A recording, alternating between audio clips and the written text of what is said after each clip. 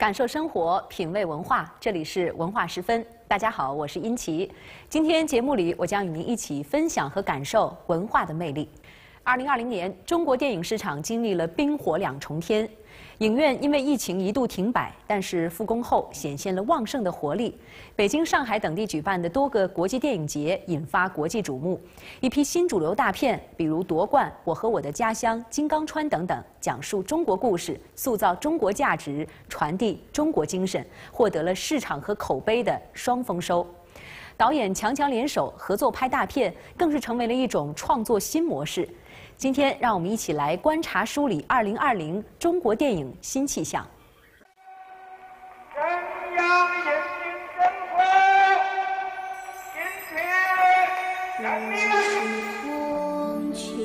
从建国前夜的升旗任务，到女排夺冠的动人时刻；从北京奥运的全民记忆，再到阅兵护航的飒爽英姿。电影《我和我的祖国》从普通人的微观视角出发，用七组故事重现了新中国成立七十年间的激荡岁月。《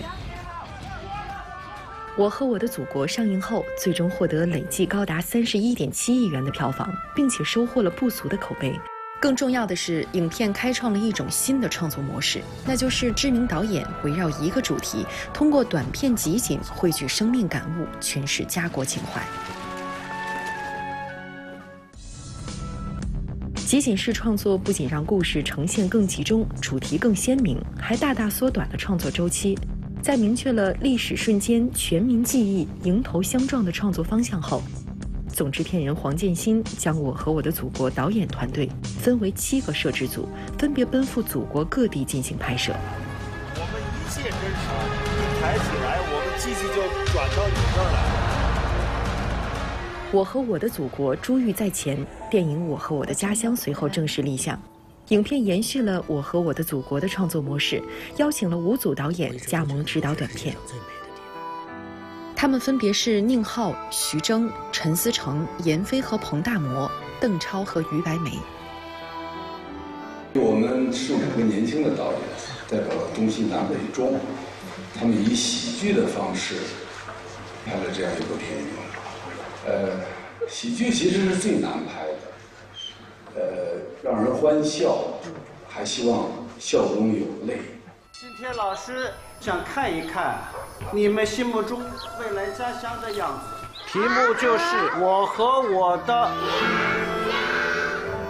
无论是《北京好人》里的热心张北京，还是《最后一刻》中赤诚的范老师。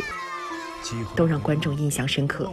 我和我的家乡用喜剧的形式表达了对家乡的怀恋，从欢笑中传递温情，在泪水里留存感动。先生，所以现在我们要讲感谢感恩的呀。家乡，呃，对于所有的中国人其实都是一样的，它是一个非常亲切，并且，嗯，就与我们的血脉有关的一个。一个词，对，它是它是你的源，它是你的源头，所以我觉得对我来说那是那是根。上课，你这是不是读卡器老化了？啊，兄弟，我这读卡器就是再更新，也读不了公交卡。电影夺冠几乎与我和我的家乡同期上映。影片聚焦中国女排从1981年首夺世界冠军到2016年里约奥运会重回巅峰的传奇经历，展现了几代女排人历经沉浮却始终不屈不挠、不断拼搏的体育精神。所有的一切都是为了今天。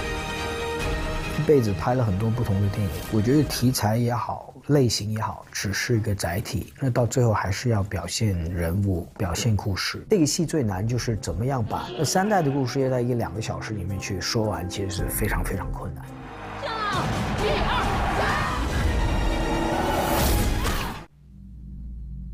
为纪念中国人民志愿军抗美援朝出国作战七十周年，由管虎、郭帆、陆洋三位导演联合执导的电影《金刚川》，讲述了志愿军战士们在敌我力量悬殊的情况下，以血肉之躯顽强拼搏的英雄事迹。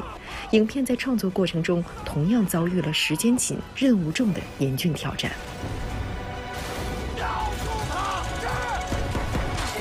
每个导演都有自己强烈的个性，情感抒抒发，然后自己的受教育背景、喜好都不一样，要完全在一个共同的气质和味道下，其实挺难的。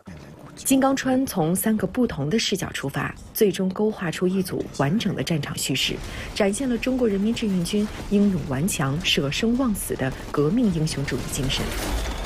来吧！朝鲜战争我其实是准备了很多年了，特别希望一个充裕的机会去拍一个。画卷一样的大点的，但这次是稍微有点紧，然后就选择了一个其中感兴趣的一个点，小切口大关照。国冠啊，我和我的家乡啊，呃，后边的啊金光川啊等等，这些个新主流电影呢，融入了一些呃明显的类型元素，既受到社会上下关注，同时又充满艺术性的啊好的作品，嗯，呃这些作品呢。呃，是中国国产电影目前的中坚力量，也形成了呃中国电影创作的一种美学风景线。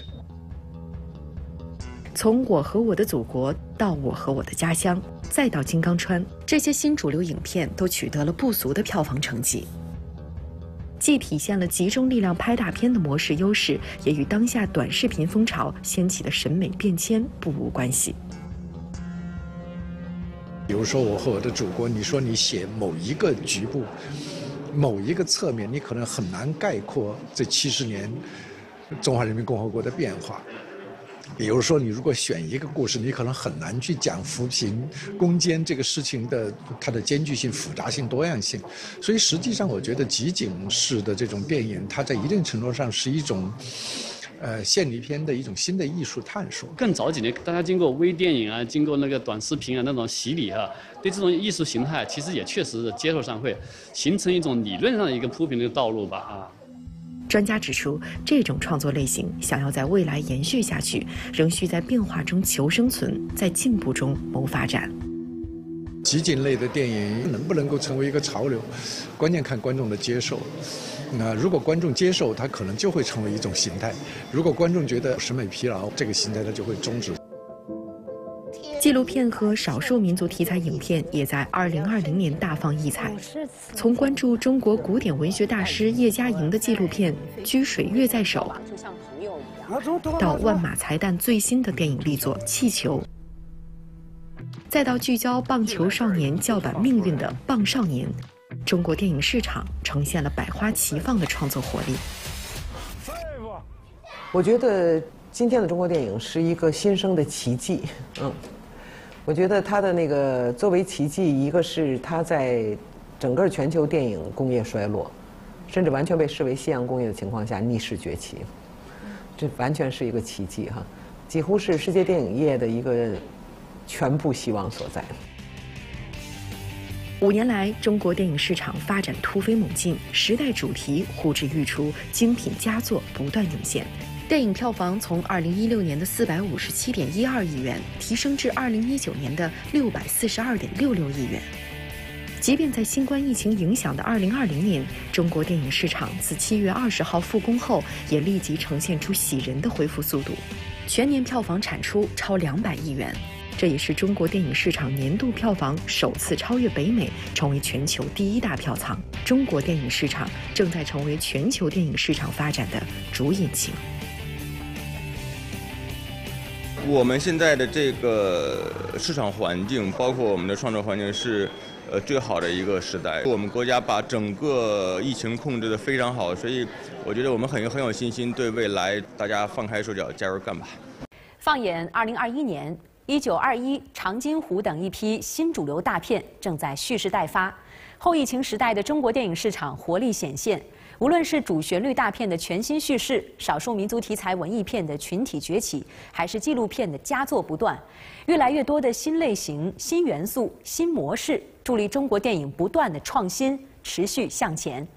今天节目就是这样。获取更多的文化资讯，您可以关注“文化十分”公众号，参与我们的节目互动。不仅有机会赢取演出门票或者是文创产品，还能够参加我们的线下活动，有机会和您喜爱的艺术家面对面。